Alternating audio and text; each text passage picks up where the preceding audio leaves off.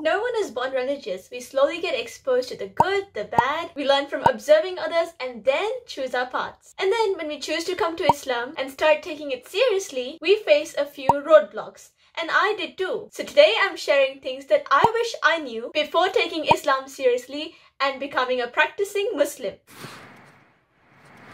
This is gonna be a long one, but trust me, it'll be worth it if you watch it till the end, inshallah. The first thing that I wish I knew is that it takes time to practice Islam fully and correctly. Not a do it all or do nothing at all, as some people say. It is so easy to get burnt out if you go cold turkey and start cutting off everything in your life that isn't right and starting to do everything that a Muslim should do. We are humans and changes in life should be gradual. It is so important to take your time and slowly practice Islam step by step without feeling burnt out. At the same time, I understand it can be hard to bring these changes into your life. There might be many challenges, sacrifices and whatnot, but we need to keep our end goal in heart which will help us get through it all. The end goal being Jannah and the pleasure of Allah. So no matter what you go through, you know it's worth it it. When we start to take Islam seriously, we begin to learn a lot of new things. How to pray properly, the etiquettes of eating, sleeping, drinking, and everything. It becomes an overload of information. But here's the thing. Learning is a progressive thing. You learn something new every day. It's okay to not grasp all the information all at once. And there are so many ways to make it easier for yourself to learn all this stuff, which is by spending more time with practicing Muslims and doing a little every day and increasing it as you go. I also did not know that there are some aspects of Islam Islam which have differences in opinions. When researching answers to some questions you may have, you might find different answers that end up making you more confused. So in this case, the best way out is to rely on the Quran and the Sunnah. Read for yourself what the ayat or the hadith says in English or whatever language you need to and follow it accordingly. Another thing I wish I knew is that it's okay to ask questions. Questioning brought me to where I am today. Everything we do as Muslims has a reason behind it, but those reasons may or may not be within our understanding. And that's okay. We should try to understand our deen as much as possible, and that will not only help us in practicing it wholeheartedly, but also will help us further our love for Allah and the Prophet ﷺ. Now, when you start, you'll be in your beginner stages of your journey to being a practicing Muslim. Don't feel bad that you're at a different level to others. Be inspired by them and learn from them. And once you do start leveling up, don't look down at those who are still in the beginning stages of their Iman journey. Everyone will get there at their own pace. And once again, the best way to level up is progress every day by starting small and slow. Allah knows your intentions. You don't need others to understand you as long as Allah knows what's in your heart. And that is what matters the most. Keeping that in your heart will give you the motivation you need to keep you going. And no matter what others say, you'll feel focused regardless. Some might find you to be too religious or too haram for them. You know the meme? I'm too halal for the haram people and too haram for the halal people? So that's what it is. You can never please everyone. So focus focus on pleasing Allah rather than trying to make others happy with how you are following your deen. Islam is easy. People make it hard. Not just haters who make us feel mocked at, but also people within our Muslim community who invent new things or say that things have to only be a certain way without having any basis from the Quran or the Sunnah to support their statements. So I would highly recommend you turn to the Quran and the Sunnah before taking anyone's words to heart. And the other thing I wish I knew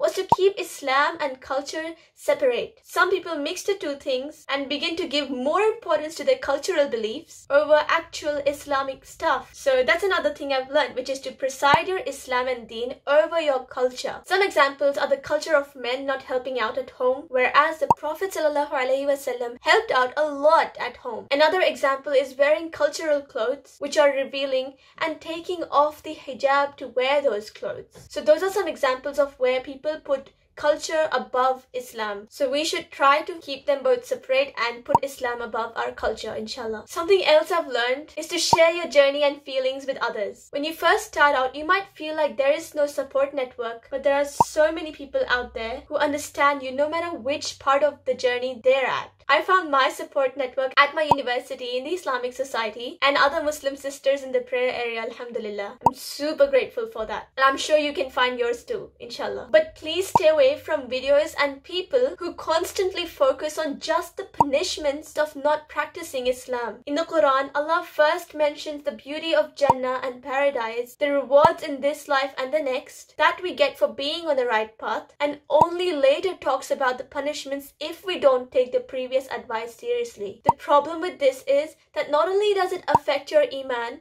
but also creates a fear of Allah rather than the love for Allah. But also, when you level up in your deen, you start instilling the same fear in others because that's what you learned at the start of your journey. So yes, please stay away from those type of people and videos. Next thing I wish I knew is that it's okay to enjoy life, earn money, get good things, have Ferraris, have a good home and all of that as long as it's not affecting the deen aspect of your life and is not turning you away from the remembrance of Allah. As long as you have good intentions and no intentions to show off and stuff, then it's okay to enjoy life and get what you want as long as you're being mindful about it and not letting it create pride in you. Now next, after you've reached a certain level in your journey, have patience for others to get there too. Also, you will start to get questions by Muslims and non-Muslims alike about why you do what you do. I found that answering them logically will only lead to either mockery or more and more questions. So I recently learned that a simple way is that whatever it is, you do it because Allah asked you to do it. Trust me, you'll see a difference when you answer it this way. Now enough about me, but what about you? What are some things in this video that you found helpful? Or what are some things that you wish you knew before you became a Muslim or a practicing Muslim? Share it with us in the comments down below. Inshallah, I hope that the things I've shared come handy. And if you like this, give this video a thumbs up and don't forget to subscribe. Until next next time, live your beliefs and stay tuned to Bliifee.